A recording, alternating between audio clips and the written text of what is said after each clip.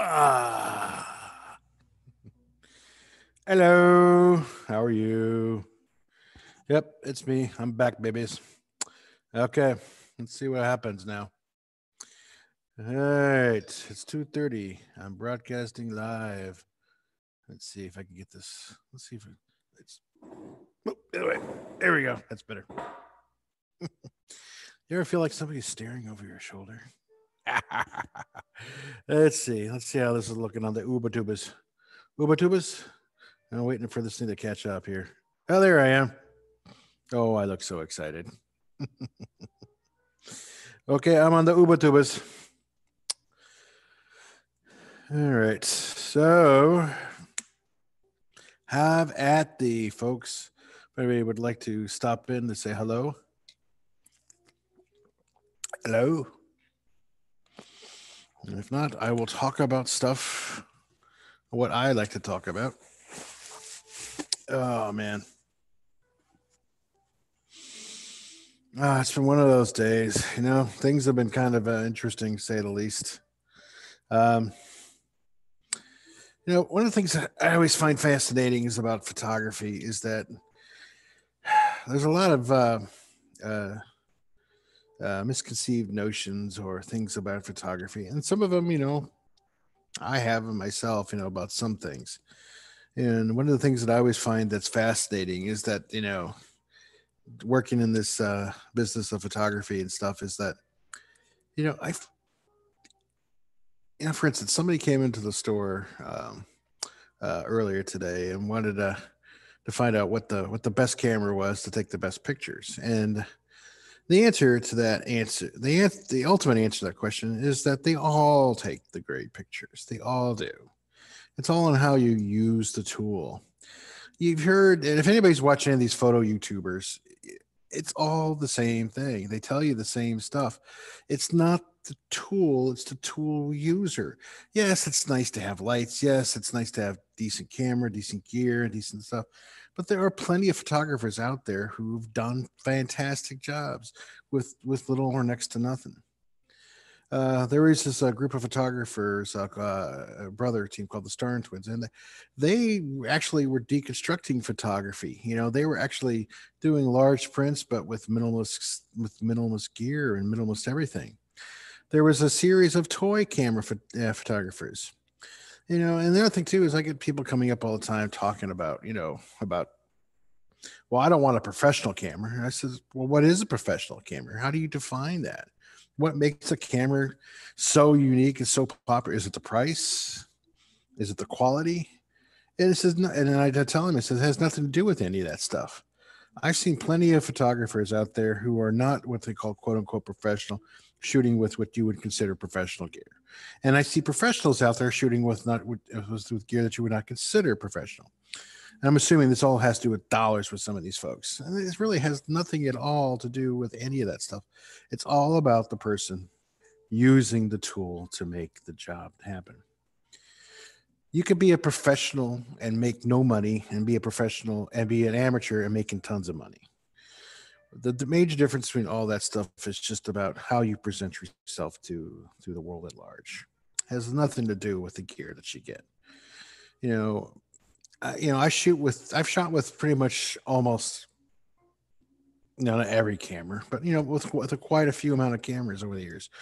Between medium format I've, I've shot once or twice with a large format camera tons of 35 millimeter film you know going from digital from those 80 bit, you know, this from like 2 million to 6 million pixel cameras from those Sony Mavicas back in the day.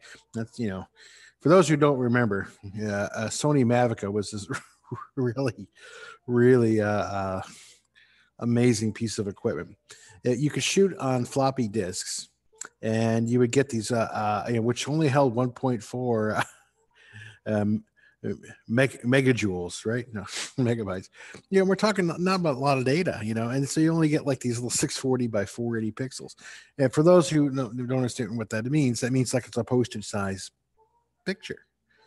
And uh, you know, and I would used to make prints from this 20 by 30 prints. And you know, and the thing is, I wasn't trying to make you know fantastic photos with it. I knew the limitations of it, and I just printed them up as such.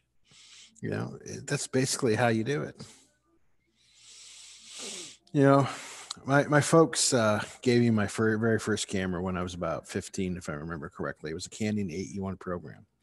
Now, technically, there was another camera or two before that. There was a 110 camera, and there was this Kodak Instamatic. Uh, you know, I really didn't. There weren't. It wasn't really mine. It was the family stuff. Yeah.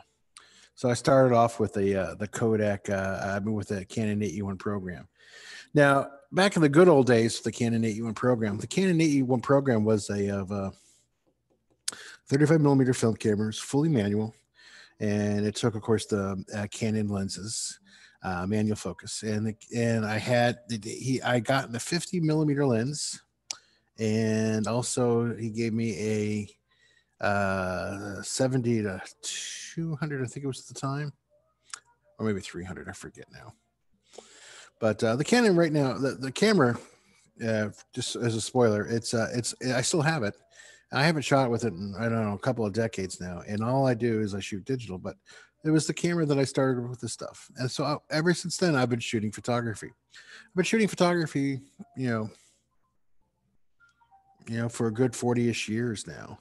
And I've done weddings, receptions, portraits, high schools.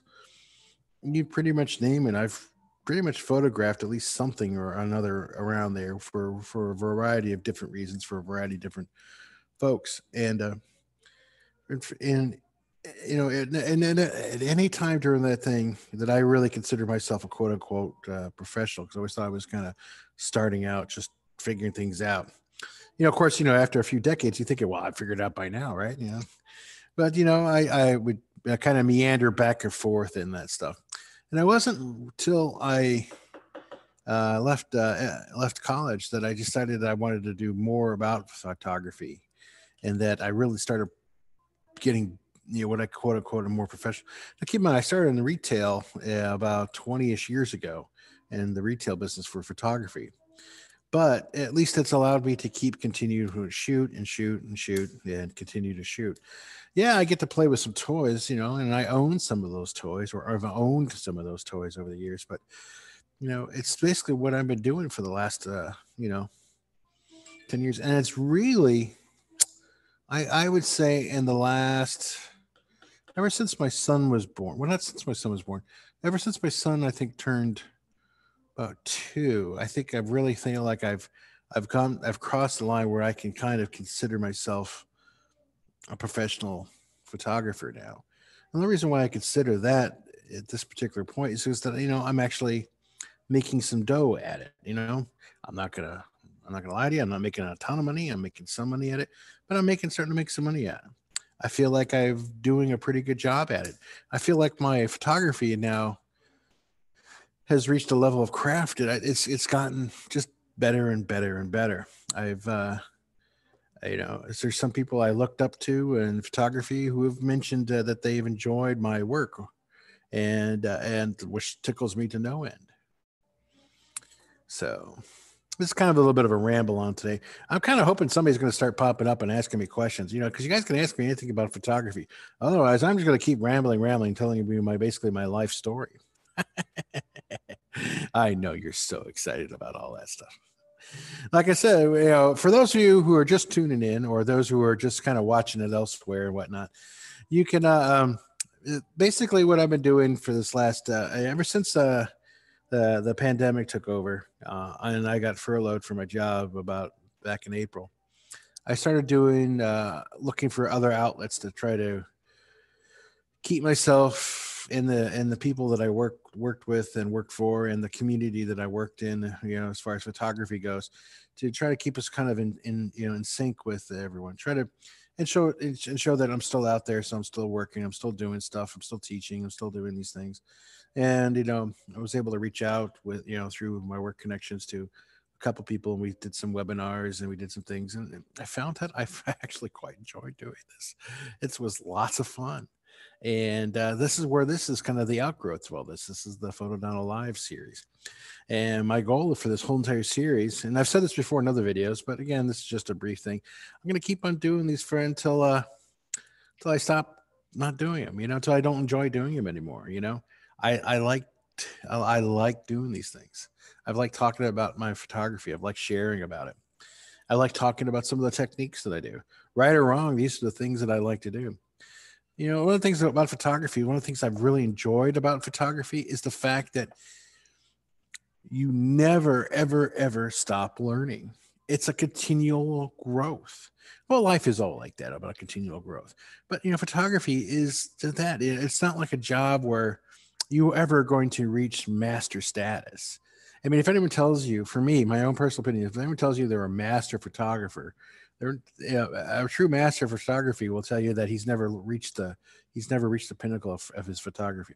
He's always learning. He's always trying something different. Always doing something unique. There's always something new to learn. And way the industry's changed in the last decade or so, it's just amazing about all the stuff that we've been able to do and accomplish and and everything that we've done. Excuse me one second. You know, it's been one of those things that I've, uh, you know, it's been it's been such a, a joyous experience, especially in this last, uh, you know, these last uh, um, uh, 12 years or so, 14 years now. I've really enjoyed the craft of photography. It's been something that uh, has been building up and building up, and I finally got to the point where I just like, man, this is this is the bomb. I could do this forever if I can get somebody to pay me to do it forever, I would. It would be like the perfect thing. Or if I could do it without having to, you know, reap any uh you know bad side effects like you know homelessness and stuff. yeah, so anyway but anyway so uh you know so basically i've been doing this stuff and i and then i just gets you know sometimes it just gets frustrating when somebody goes well i want to learn about well and what's what's the best lighting gear i can get or what's the best gear i get? There's there's no such thing as the best gear you can possibly get. There really isn't not when it comes to photography. Hell you can make your own gear. There's plenty of photographers out there that make their own stuff you know, there's plenty of photographers who like to buy the most expensive stuff. And there's, you know, photographers like me that just go with the middle of the road and stuff like that. The best advice I can give anybody out there who's just starting with their photography is not necessarily stick with a brand of camera, but try to stick with the tools that work with most of the things. So for instance, if you're looking for lighting gear, you want to you don't want to necessarily start buying stuff that you can't incorporate later on down the road. For instance, when I started off with doing student lights, I would, you know, again, poor student trying to find some things, trying to make the things happen. So I bought some uh, uh, constant lights. Then I bought the you know the cheaper flashes, and then I bought some cords to go things so I can lock, lock it all. But I always had to run around and make all these changes, make these choices, and this really just bogged down the thing, and it stopped being enjoyable because I was too busy running around doing stuff. Well, you know, later on when I started getting more involved with that stuff, when I was like doing stuff for like, you know, back in the day was doing portraits for high schools and stuff like that. I was doing these things. And one of the things that I enjoyed the most was uh, the fact that all the equipment kind of all talked to each other and it was like plug and play. And well, the reason why that was is because all the equipment was pretty much the same equipment. You didn't have to, you know, hodgepodge things together. So when I decided to get my own equipment, I bought like this, uh, the, the Photic system. It was made it made it pretty seamless for what I wanted to do. I could put two flashes up, put strobe up. They'd all talk with each other. It make things a lot more efficient. Yeah, they were a lot more expensive to do something like that, but it was certainly well worth the efficiency and the time to be able to do all this stuff. You know, so it's like one of those things that I've really enjoyed doing. It's been a lot of fun, and uh, yeah. So, uh, for some of you who might not know, this picture behind me, this was a uh, a, a, a, partnership or a collage or a uh, a, a team up event with uh, me and uh, and the lovely uh, Topaz. Let's Uh, to, Topaz is a is a burlesque dancer with the dance group Moxie La Femme, and I met her psh, over ten years ago, something like that. Anyway, I I haven't seen the the group other than online lately, and and uh, they're always doing some really cool stuff. Anyway, so and then and uh, Topaz has been doing uh, some really funny TikTok stuff. So anyway, so anyway, so I convinced her to come down to Bradenton to, to, to work in the studio, and um, so we can do some of these shots. And this was probably my more favorite shot that we've done uh, in the, in the here. It was uh, it was this little uh, image like this. She was. Let me see if I can move out of the way. See if I can kind of get out of. The, so basically, what it is is it's the Milky Way uh, that's behind her, a Milky Way photo that I shot, and I believe it was the one that I used of uh, uh, that I shot down in, at the Caspersen's Beach, no, at the Venice Fishing Pier is where it was, on near Caspersen's Beach anyway. And uh, so then I took the same Milky Way photo and I projected it onto her.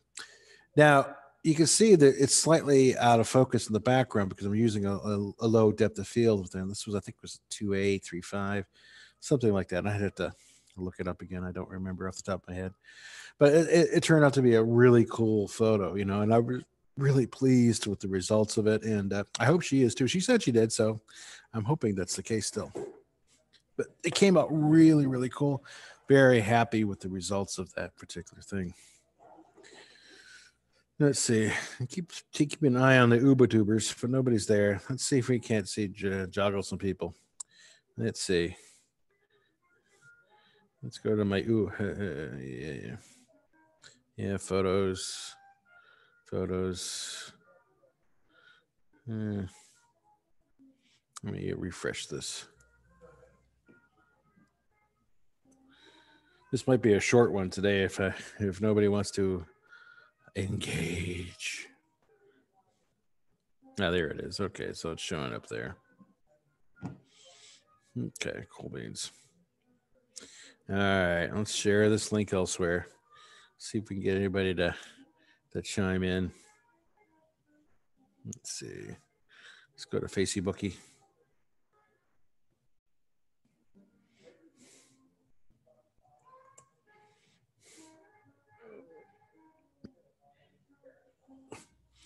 There we go. We'll post it there. We'll post it here.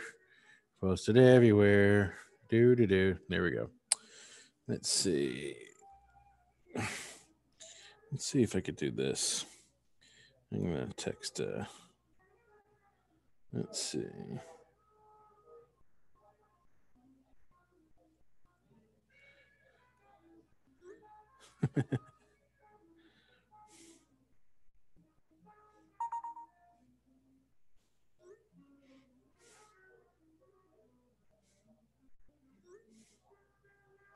Let's see one more person. I know it's so exciting watching me text at this particular point. Everyone's so happy. There we go. Text a few people. We'll see what happens. So, all right. Let's see anybody pops up up in there at that point. All right. So, anyway, where was I? Oh yes, I was. I was talking about uh, my my many uh, my many ventures in photography one of the places that I started working at back in the day was, uh, uh as far as the retail portion go, was uh, this old camera store called Sarasota Camera Exchange. It was down in Sarasota off of Bahia Vista and 41. And uh, I was working for uh, a couple called uh, Ray and Beverly Broth, and they had their uh, son-in-laws who were pretty much kind of running the place. And uh, and uh, it was a good time. I had a really good time. There, though I, I, think I think uh, the the the son-in-law Lewis, who was running the uh, the the lab portion where I was working, I think he should have fired me. there was there was this one time that uh, I was uh, I uh, I you know I don't I think it was one of those Harry Potter. I can't remember. It was so long ago now. I don't remember which book it was, but it was a book probably like Harry Potter. First came out, whatever. I started reading and I couldn't put the damn book down. So next thing you know, I get this thing at like the book at eight, eight o'clock in the evening, and I'm supposed to be to work at you know I'm supposed to be up in, and I live in Venice and I have to be in Sarasota by eight thirty or something like that for some something to do in the lab or whatever. And I I finally put the book down. It's like six o'clock in the morning I said, okay, I can't go to sleep. I can't go to sleep. And then I, I fell asleep. I don't wake up until about 11:30 in the afternoon. My cousins who were doing stuff around the house had heard the phone ringing off the. This is before cell phones, by the way. I just want to let you know this was a while ago. You know, so I've been doing this for a couple of decades now, doing this retail shtick, and uh, so apparently my boss was looking. Lewis was looking for me. so wonder where the hell I was. So, so I get on the phone and I'm like, oh crap, I'm fired. I don't, you know, I which I didn't blame him for if he did it because that would have been a horrible thing. I mean, that would have been the the just and right thing to do. But uh, I said, hey, because you know you're supposed to be at work. Yeah, I'm sorry. What were you doing? I said, I'm sorry. Yeah, how do you explain to your boss that you, there was a really good book, you couldn't put it down, and you were reading reading it until six o'clock in the morning because you just couldn't put it down because you wanted to find out what happened next. I, and I was completely sober. I wasn't drinking that night. I wasn't smoking or doing anything unnatural or altered. You know, I just was reading this damn book. I wish I could remember that book that I was reading, but I just couldn't put it down. Maybe it was a Shannara book. Anyway, so the it doesn't matter. So the idea is, you know, so I'm on the phone with him and I'm like going, Hey, uh so uh so do you am I am I fired? because there's silence on the phone. You just can't believe that. Uh, yeah, that's just the excuse I have. so, I mean, if I was him, I wouldn't believe this shit either. so, I, he says, "All right, just come in. Just come into this. Just come in now." I said, "Okay." So I quickly run into the shower, slough some water on me, get this, go in the car, get up there. It takes about 40 ish minutes to get up there, you know, from where we're living. And uh, I get there and I go see him and said, Hey, goes, just go do, just go work. And I was like, Okay, great. So I go and work. It's just see me at the end of the day. You know, the end of the day was only a couple more hours away. So. Oh, he was mad. I, I don't blame him. I, I, like I said that, that I would have fired my my ass for this stuff. So so at the end of the day, and I said, Hey, he goes, he just looks at me. Are you ever going to do this again to me? He goes, and I go, no. He goes, fine. and that was the extent of the conversation. I mean, I apologized and stuff and whatnot, but you know, oh man, that was nuts. good times, good times. Now then, of course, uh, they got bought out by um, uh, this camera camera company called Wolf Camera run by a guy named Chuck Wolf, who was uh, at the time I think some sort of marriage uh, convenience to uh, to the Ritz Camera family. You know, married by uh, you know some sort of relative connection. I think if I remember the story correctly.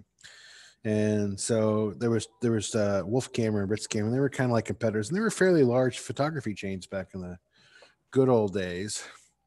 But of course, in the good old days, what happened was digital photography started rolling around now, the you know, for those of you who weren't around at the time you know, or don't remember those times, you know, digital photography is, is nowhere near was was when, when I started out. In fact, the internet was just beginning to become the internet as it was. You know, it was still just rolling around, and uh, and uh, I was uh, we started working for this company. You know, so so we're working for Wolf Camera. It seemed like you know when they bought out the store, it was it was a little bit scary at times, but you know they seemed to fit in and they seemed to be doing pretty good and stuff like that. And then digital cameras really started to start taking off. Now, if I don't know if any, again, for all you younger listeners out there, back in the good old days, uh, you know, used to have a, uh, a photo processing uh, center on every corner. Every camera store out there had a photo film processor because what you would do is you would get your film. You would go out, shoot some film, take your film into wherever, and get it processed and pick it up in an hour. One hour film processing. That was the thing. You can pick up your prints in one hour. You know, there was no instant gratification. Oh, I shot a picture on my camera. Now it's on my phone. Now it's I shot a picture with my phone. Yada yada yada.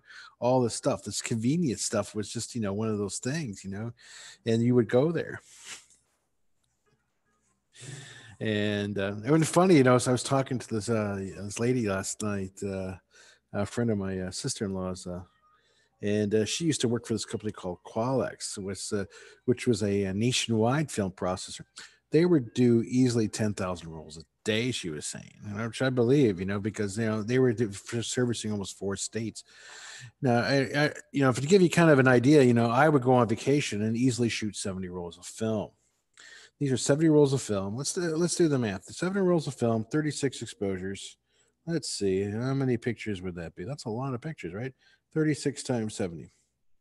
That's 2,520 pictures. All shot with film, which I couldn't even see until I got them processed, until I saw them again later on. You know, so it wasn't like I would go out and shoot like I do now. In fact, I actually find myself not shooting as large amounts as like I used to. In fact, I find it's shooting myself in smaller amounts. Even when I do weddings and receptions and stuff, I'm not shooting like 3,000 photos, you know, you know, not like I used to do. I basically shoot a lot less now because I can actually gauge my results as I'm happening there. You know, back in the good old days, I had to kind of figure this stuff out as I was moving along. And the things would change, I would make a good guess. And that's basically about it.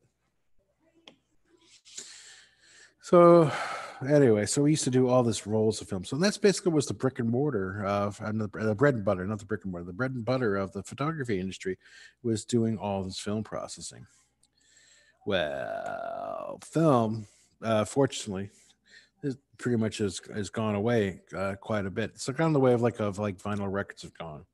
It's still out there, but it's no longer on the corner. It's like if you have like a your favorite it used to be like you'd have your favorite record store, your favorite film store, you know, places where you can go and check this stuff out and and whatever. But now all this stuff has pretty much been replaced by digital.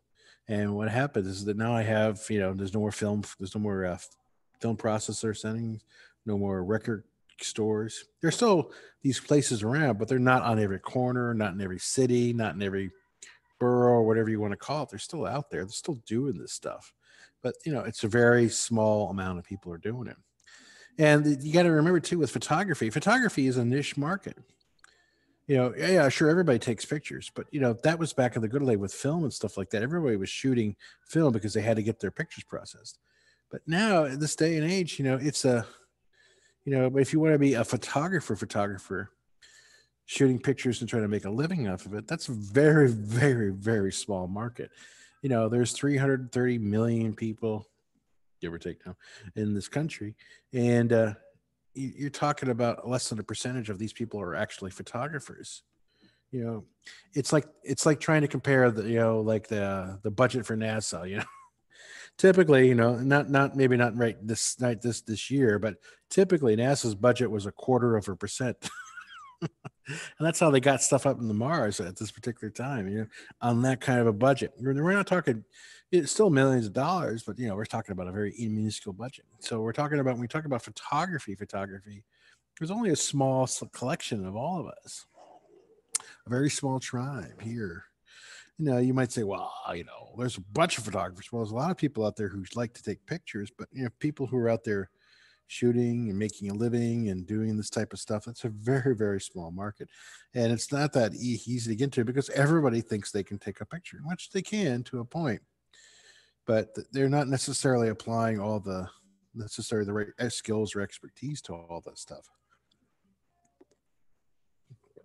Keep in mind this is all just my opinion and stuff about things you know there's nothing that's out there i'm sure i'm going to probably if anybody actually watches this which i haven't seen anybody pop up yet that uh, I'm sure I'll get comments from here and there.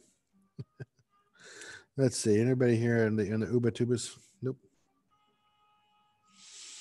All right. Excuse me one second. Sorry.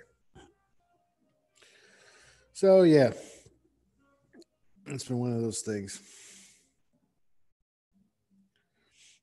Let's see what else is going on. So you know, Wolf gets uh, uh, starts doing this stuff, and the and the industry's starting to change. You know, it's moving away from film. It's starting to go to digital. Then Wolf Camera kind of got into some financial trouble. They actually uh, they were still working on the same model. They hadn't quite realized that the business model was changing, and they got a good deal from uh, uh, Fox CPI to buy a bunch of photography process, you know, photo places, you know, to process film and stuff. Well, you got to remember this good deal didn't really turn out very well because again, photography's kind of you know film processing starting to slide down a little bit. So you know people are starting to shoot things with digital cameras.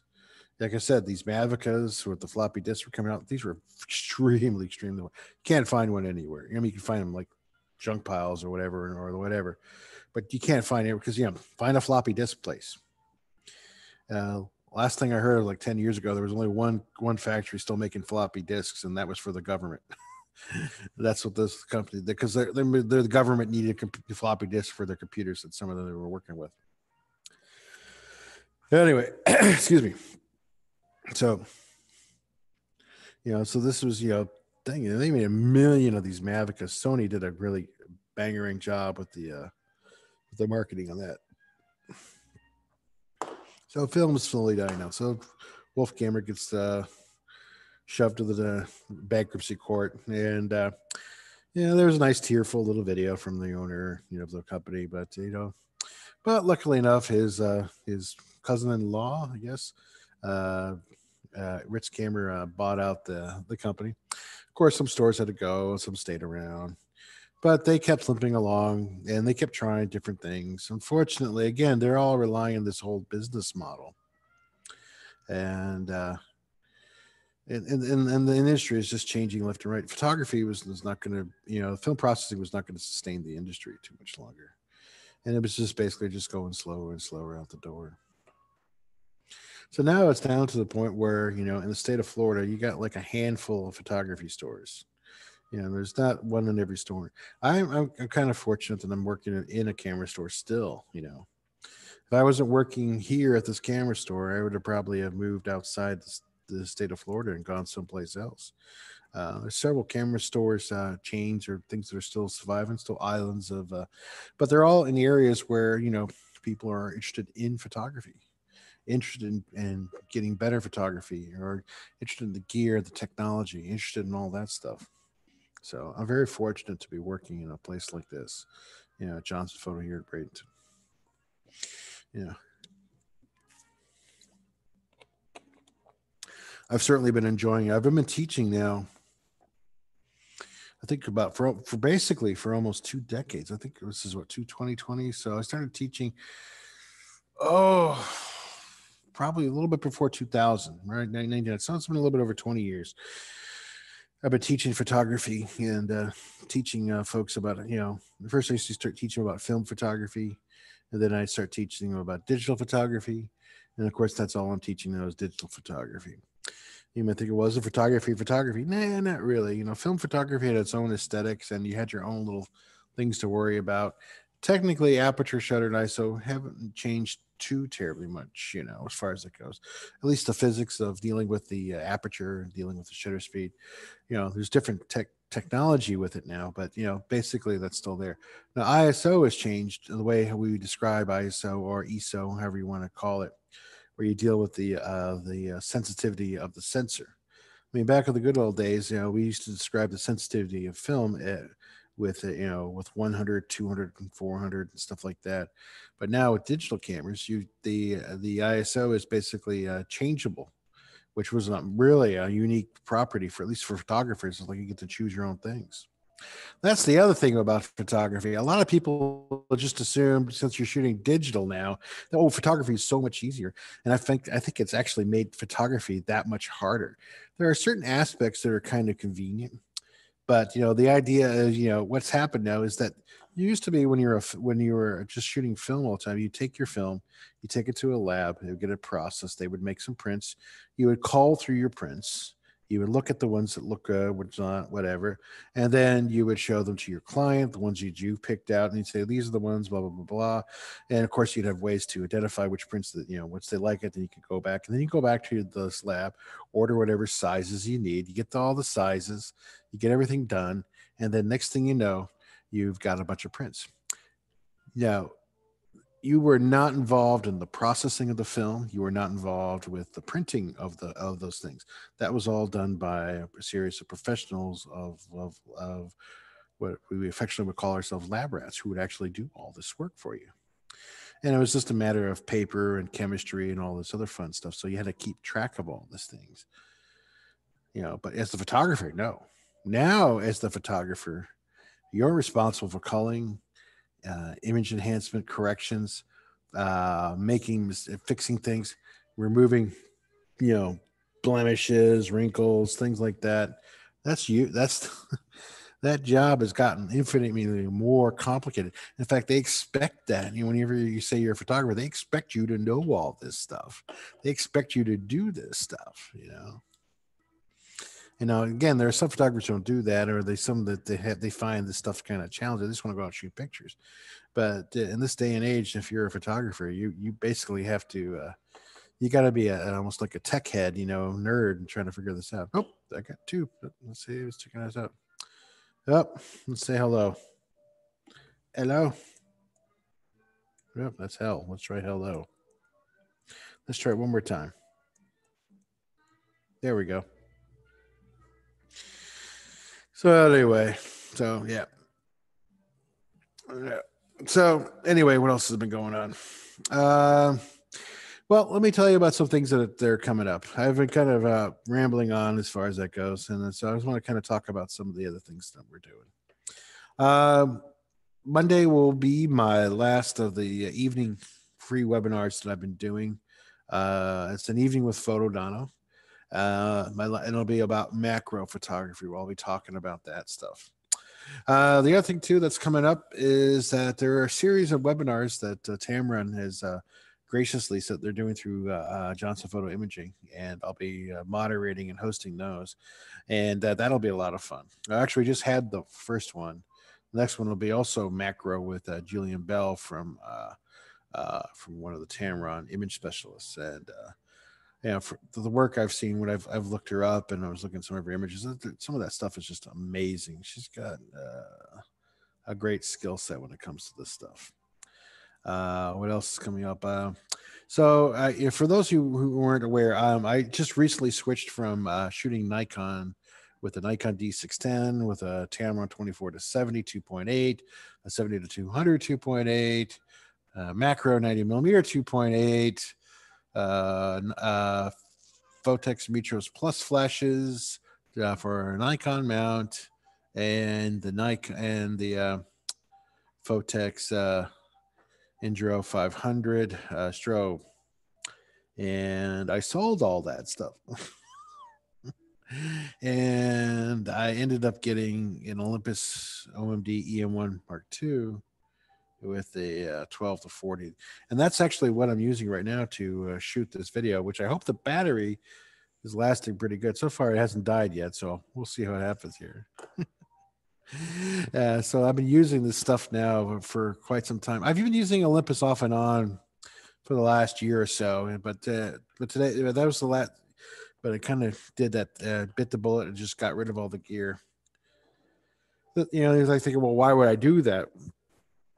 But you know, the thing is, the industry is changing again. So, and I had to decide on what camera was, was going to best meet my uh, workflow. And the one that's going to best meet my workflow is right now is the OMD series from Olympus. So micro four thirds, so it's a slightly smaller sensor than I was shooting with before, but image quality is it's awesome. The reason why I bring that up is because you know I'm a recent convert to the to the mirrorless system as it was, and I'm a recent convert to a different uh, type of size sensor. Um, this is all important. I talk about all this stuff in other videos and stuff like that. So you can always check them out about if you're really, or you can ask me a question about it if you want here. So the idea is, you know, I, I switched over to this mirrorless system and I've really, like I said, really enjoy it. So um, uh, Carlos, uh, who's our uh, Olympus rep, uh, he's going to be doing a couple uh, webinars uh, with uh, dealing with Olympus flashes, and of course the uh, um, the latest version, the uh, latest camera from them is the OM5 Mark III they've got some really cool features and cool benefits. I'm really looking forward to that because I always learn lots when Carlos is in town, or yeah, at least with the webinars and stuff like that. So I always learn lots and lots and lots from him.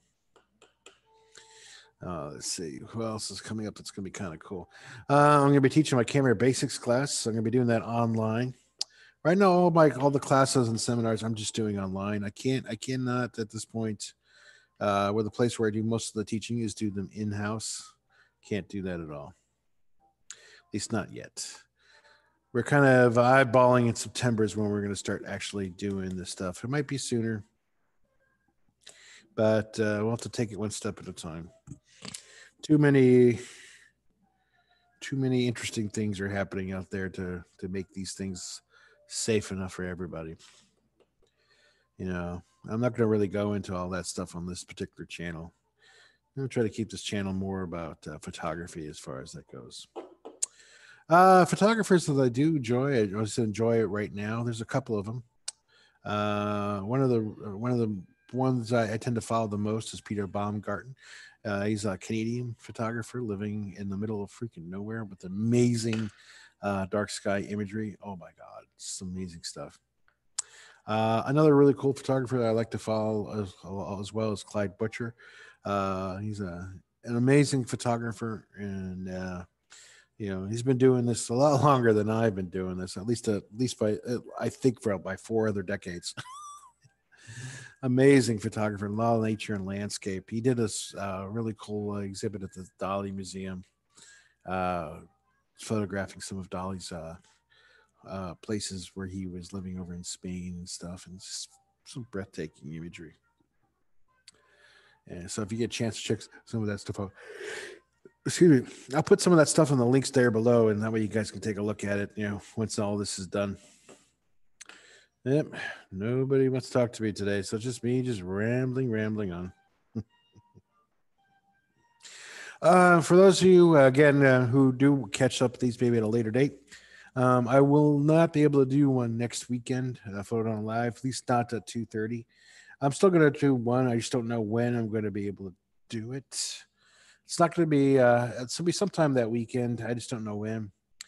My son might be a special guest, uh, though unwilling. we'll see how that goes.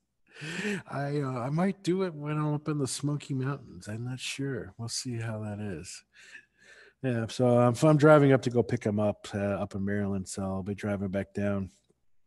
Yeah, yeah, I still feel comfortable flying as of yet. All right, well, I'm almost done out of time here. Like I said, I try to keep these things to relatively short.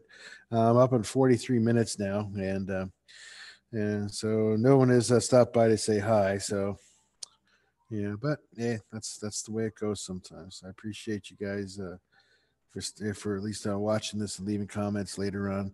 You're always more than welcome to stop by my uh, website uh, at fotodono.com. You're welcome to uh, also support me if you'd like to through Patreon or through. Um, oh, well, reminds me through Patreon. Uh, for those who are Patreon subscribers, uh, which are my only two, uh, I just got uh, the other postcards in ordered, and they will be on their way. So I think I owe you guys two more two more postcards. I was gonna say I'll send them the same ones again. No, no, no, no. I ordered two more sets of postcards, so some different stuff. So hopefully that'll be uh, here before I get there. I'll be here before I leave this weekend. I mean. So we'll see how that goes. But they are on their way, at least delivered to me anyway. Um, I can't think of what else. Uh, what else is going on? Oh yeah, if you want to, you can check me out on Facebook at Fotodono. Uh, you can also find me on Twitter at Fotodono. Also on Instagram. I honest, I really don't do too much Twitter these days. I just mainly just follow it for some of the sound bites or the clip, uh, the tweets and stuff I see from some of the folks that I follow. There's some really funny folks out land, but that's usually fun. Uh, the other thing that uh, I do my Instagram, I haven't been doing a lot of instant Instagramming, but I've been doing some uh, just weird photos, doing a little abstract stuff. So if you guys like to see some of that stuff, you can always check out my Instagram feed. Most of the time, my Instagram feed does post them on my Fotodono page. Again, that's Fotodono with an F. Don't forget. Uh, let's see what else. Um, yeah, I think that's about it. All right, guys. Well, thanks. That's it for today. Uh, I hope you guys will enjoy this. If you want to, please uh, don't forget to subscribe. Um, I'm hoping I'll be doing a, a live on remote, uh, depending on bandwidth and signal and stuff. We'll see how that goes, and we'll try to do some stuff like that uh, this weekend. Um, yeah Thanks a lot, guys. And I appreciate all the love and support that I've gotten over the years. It's been awesome. And uh, I look forward to doing some more. This was kind of like a big old ramble, you know, blah, blah, blah, blah, blah, blah, blah. I was kind of hoping I'd be just doing more questions about photography and stuff, but doesn't look like that's happening today. So, well, listen, guys, thanks a lot. And, uh, uh, I kind of keep remembering to look at the camera. I keep looking at me on the screen. So let's let's try to do this. So yeah, there we go. That's much better. so let me look at your eyes, deep into your eyes. Hey, baby, how you doing? No, no, sorry. So thanks a lot. Again, I appreciate everything. And uh, like I said, I hope to see you guys uh, sometime soon out there. Again, uh, please click like and subscribe. If I get 100 subscribers to YouTube, I get to name my channel photo down. It'd be awesome. All right, guys. Thanks a lot. Have a great day.